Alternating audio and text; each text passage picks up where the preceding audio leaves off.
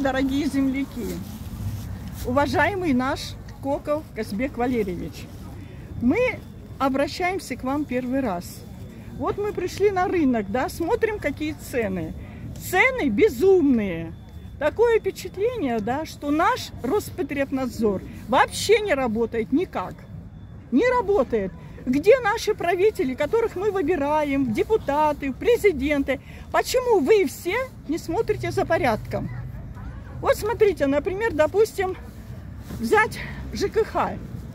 Вот этот беспредел, да, о банкротстве. Какие они банкроты, когда люди каждый месяц платят деньги. Ну пусть какой-то процент не платит. Ну, в основном же платят люди, да? А куда же вообще они девают эти деньги, что их без конца банкротят? А вот кому надо сделать банкротство, положено по закону, мы не можем сделать банкротство, потому что у нас нету больших денег, чтобы платить э, адвокату 100 тысяч. Я вот сколько уже хожу, да, два года, я не могу сделать банкротство себе. Не могу сделать, потому что у меня нету таких денег платить адвокату. А где же наши где наши законы? Вот мы смотрим, да, по телевизору смотрим, да, они э, говорят, вот Мишустин, там долги списать пенсионерам, да, кто попал в трудную ситуацию. Ну где, когда они нам их будут списывать, когда нас дергают, водоканал закрыв... ставит нам заглушки. На каком основании, без решения суда, они ставят нам заглушки? Самоуправством занимаются. Вот насчет взять пенсии наши. Наши пенсии вообще смехотворные. Это разве пенсии? Кто такой установил прожиточный 13, там 280, да? Вы пойдите на базар, вы ходите почаще на базар и смотрите, какие цены. Вот эти цены, они вообще не соответствуют нашим всем этим вот, как говорится, а? они, они не соответствуют всем, вот наши пенсии не соответствуют вот этим ценам, да? Зарплаты, это смехотворные зарплаты, это что за зарплаты? Когда мы звоним в Москву, обращаемся, они говорят, обращайтесь, говорят, у себя в республике. Значит, когда им что-то выгодно, да, они говорят, мы работаем по федеральным законам, да, когда им выгодно. Так, а где же эти федеральные... Там, значит, так, пенсионер идет на пенсию, он никакой там, ну, не инвалид, да. Почему он берет путевки бесплатные, приезжает к нам сюда в санаторий отдыхать, а мы не можем отдыхать здесь. Мы не можем отдыхать. Если ты хочешь взять путевку, звонишь везде, по всем инстанциям ходишь, чтобы, чтобы получить эту путевку, да? Они говорят, платите деньги. Так извините, я работала в советские времена. На кого я работала? На какого-то чиновника. Я платила подоходные налоги, я платила профсоюзные взносы, я ни раз не ходила на больничные. Теперь что получается, значит, да? Я иду, э, плачу, переплачу, мне от пенсии до пенсии не хватает. У меня пенсия 16 тысяч, с меня еще высчитывают кредит. Наше, наш, наше население, да, всех загнали в кредитное рабство. Вот в 91 году у нас сгорели деньги. Я ходила в Сбербанк, мне однократно обращалась, да. Они говорят, ну, получите, получите в 15 году выплатим деньги. Я пошла в Сбербанк именно в 15, не в 15, ну да, в 15 году. Я говорю, так вы обещали в 15 году, что нам выплатят деньги. Где эти деньги? Не выплачивают.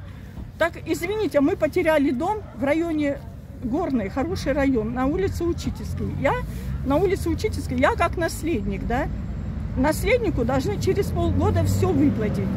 Вот имущество, деньги, да, Сколько лет мы еще будем ждать эти деньги? У нас уже сколько людей поумирало.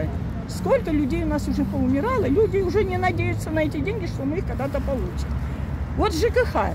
Все ЖКХ, все ЖКХ надо отдать это не в частные руки, а чтобы под контролем контролировалось, под контролем государства. Это что они такие безумные цены? Мы должны платить за отопление целый год. Когда мы, нас отапливают полгода, да, вот, вот за эти полгода мы должны платить, а не целый год. Они говорят, вот как это большая сумма, вы не сможете за полгода заплатить, мы э, делим на остальные неотопительные полгода месяцев. Это что за вообще за бардак такой, а?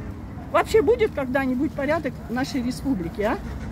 Вы, когда приезжает Путин, да, вы все говорите, ой, как хорошо, вот у нас дороги, школы строятся. Да, это хорошо, когда дороги, школы строятся, да. Я согласна, дороги надо, тоже школы надо. Ну, а почему вы ни разу не скажете за пенсионеров? Как живут наши пенсионеры? На какие они живут пенсии? Хватает им или не хватает? Вот все, знаете, у кого доступ к деньгам, все, кто у власти, они жаруют, им некуда девать деньги. Ночные клубы кто ходит?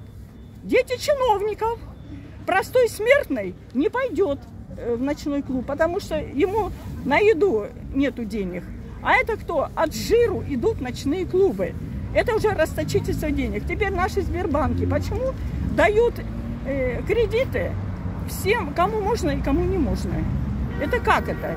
Она берет миллионы, не работает нигде, не пенсионерка, ей дают миллионы. Адвокату заплатила 100 тысяч, э, там сколько, да? Ей сделали банкротство. А она всего там один месяц или два месяца по 10 или по 20 тысяч заплатила.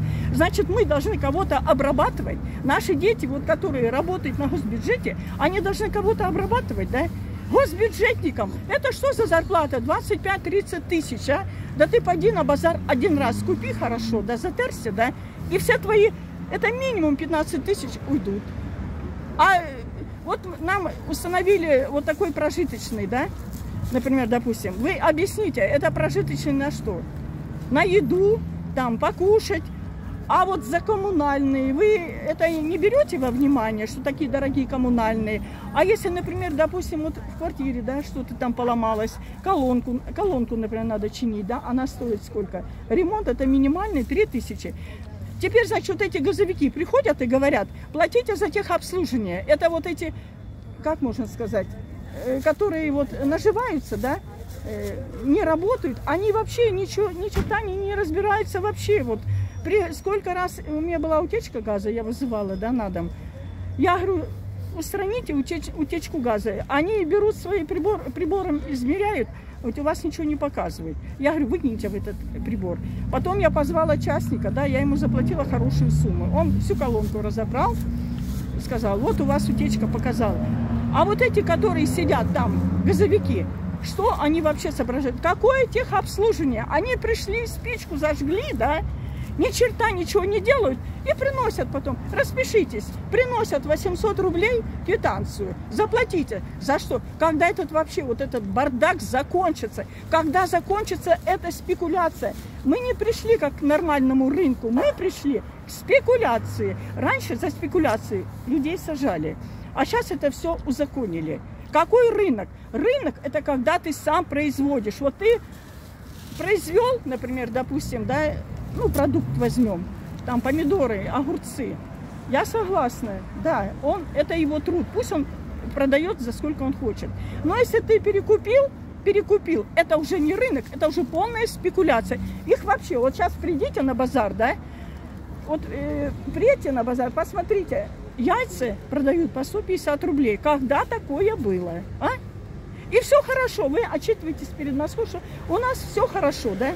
У нас все хорошо. Мы теперь будем постоянно, вот если эта ситуация не улучшится, да, мы будем или Путину обращаться, или вот у нас далеко ходить не надо, есть Рамзан Кадыров.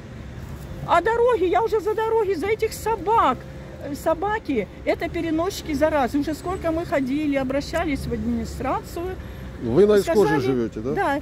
Э, ну, пожалуйста, сделайте какой-то приют собаки голодные бегают. Они вот идешь вечером, они прям стаями налетают на тебя, бросаются на людей. А почему они бросаются? Да потому что они голодные. Мы уже приходим, мы уже вынуждены из дома что-нибудь, косточки, хлеб, там что-то им нести, чтобы их накормить.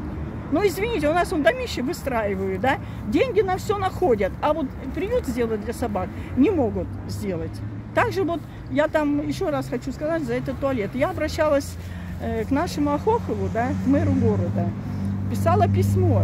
У нас э, два кладбища, одно старое, одно новое кладбище. Уже сколько лет этому кладбищу нет туалета нормального? Почему нельзя сделать туалет, провести воду, поставить там зеркала? У нас вот даже там, когда полиция дежурит, вот пасхальные вот эти праздники, да, они говорят, вот вы ходите, да, почему вы, говорит, не жалуетесь? Почему вы, говорит, не пишете письмо? А как они квартиры, а как они квартиры раздают? Вот я стояла в очередь, да, на квартиру, работала в обществе слепых. Считай, что я одна весь воз тянула, потому что зрячего туда не посадишь за пайку, да, а у меня как эндок... ну, по эндокринологии я стою на учете, да, у врача. Мне вообще запрещено э, работать на таких вредных условиях, но я шла ради квартиры. Когда уже моя очередь подходила на трехкомнатную квартиру, этот Кулиев, товарищ, этот Малик Кулиев, ага, уже его должны были скоро дом сдавать. Он раз посмотрел по списку, ага, кто, такая-то стоит, такая-то стоит э, в очереди, значит, он раз начал сокращать. И в Москву писали, там жалобы, жаловались по поводу квартир. Ну ничего, никаких сдвигов. Вот.